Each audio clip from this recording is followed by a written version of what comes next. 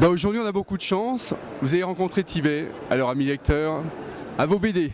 Comment se passe en fait euh, Vous avez quand même deux grandes séries de bandes dessinées, donc euh, Chic Bill, Ricochet.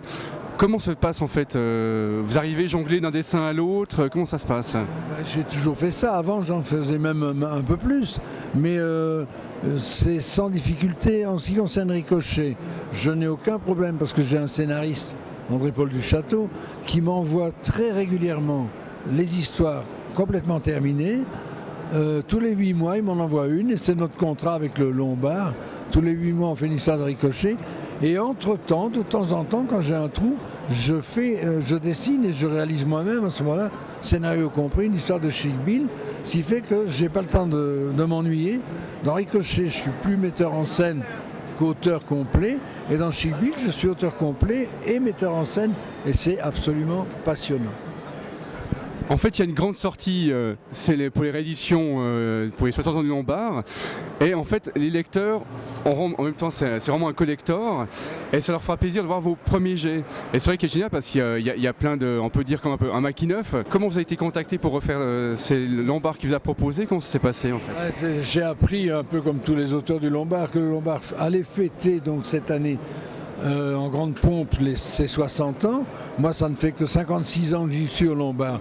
Mais ils m'ont appris que j'allais faire partie de ces rééditions d'albums devenus un peu mythiques, euh, qu'ont été les premiers Blake et Mortimer, les premiers, euh, euh, je crois qu'il y a Pomme et Teddy, il y a Corentin, et puis Chic Bill, parce que ce, ce Chic Bill-là, est sorti ainsi. Mais il y a deux albums là-dedans, deux histoires. Elles sont sorties en album en 54 au Lombard. C'est déjà très vieux.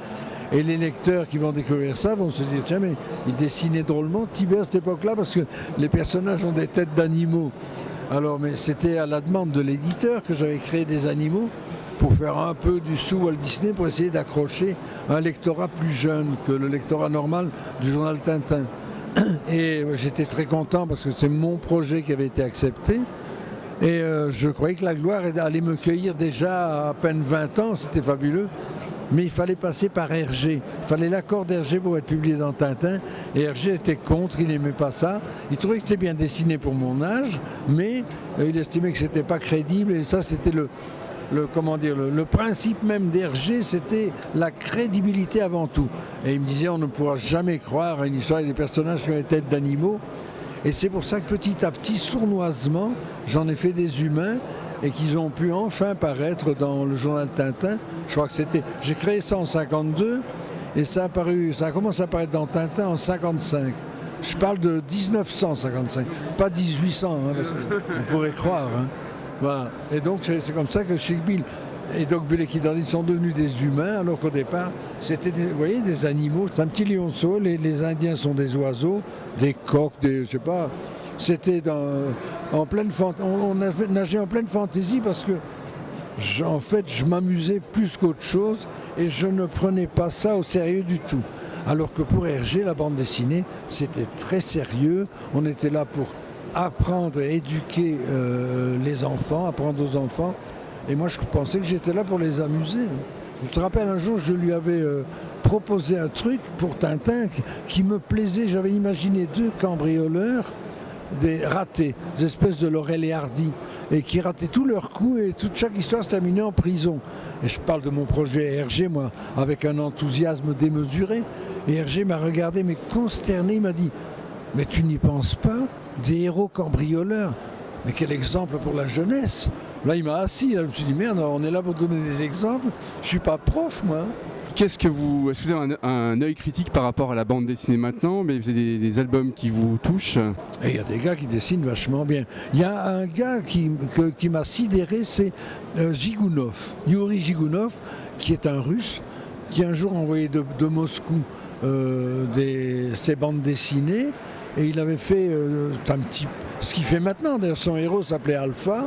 La série s'appelait Alpha. C'était merveilleusement dessiné. Il est tout jeune encore, par rapport à moi, bien sûr. Et euh, il, écrivait en traduisant dans un dictionnaire. Donc c'était du français un peu petit nègre, comme on dit. Et puis il est venu en Belgique. Il a été engagé au Lombard, on lui a trouvé un scénariste et puis un autre scénariste. Et maintenant, ces histoires sont absolument fabuleuses et merveilleusement dessinées. Mais bon, c'est- il est plus, c'est plus un gamin, il doit avoir, je sais pas moi, 40 ou 45 ans, un enfant. Et euh, il y en a un autre que j'adore depuis longtemps, c'est Rosinski qui dessine Torgal. Et là, j'ai vraiment, c'est peut-être la seule bande dessinée que je suive régulièrement et dont j'a- j'attends la suite avec impatience. Voilà. À part ça, ils ont beaucoup de talent. Qu'est-ce qu'il faudrait dire? Les tuer tous pour euh, rester? On peut pas, hein, on peut pas. Non, non, mais en général, euh, si vous suivez un peu la bande dessinée, il n'y a pas trop de générations et de conflits de génération. Il n'y en a pas du tout même. Et les auteurs s'estiment entre eux et aiment bien se retrouver. Là, je suis ici à Genève. Je retrouve des tas de gens que je vois très peu, qui sont loin d'avoir mon âge, et avec qui on s'amuse comme des dingues.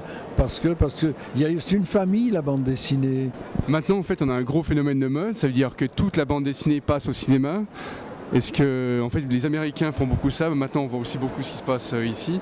Euh, quel œil est-ce que vous avez par rapport à ça? Il y a eu un film américain qui s'appelle Sin City, quelque chose comme ça, que je n'ai pas vu non plus, mais on, m'a parlé justement ce matin.